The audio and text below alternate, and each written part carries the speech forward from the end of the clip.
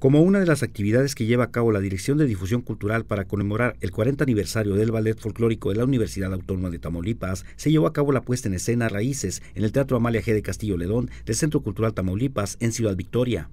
mediante un convenio de colaboración entre el Instituto Tamaulipeco para la Cultura y las Artes, la máxima casa de estudios estatal dio gala de las manifestaciones artísticas que se gestan al interior de esta institución de educación superior, la cual tiene como una de sus bases principales la difusión de la cultura en todos sus ámbitos, evento que reúne a la familia victorense. Son muy variados los bailes que se observaron, así como los vistosos atuendos con que se dio esta puesta en escena. Así también se dio la oportunidad para que el público observara el trabajo que la dependencia de la UAT pone de manifiesto con la coordinación artística de sus alumnos participantes en el mencionado ballet folclórico, la cual habla por sí misma de quiénes somos a través de un par de canales como son la música y el baile mexicanos. La mencionada fiesta del baile es una de las muchas acciones que el ballet universitario ofrecerá para la sociedad de Tamaulipas en este casi medio siglo de ser y estar al servicio de la UAT y de nuestra entidad tamaulipeca.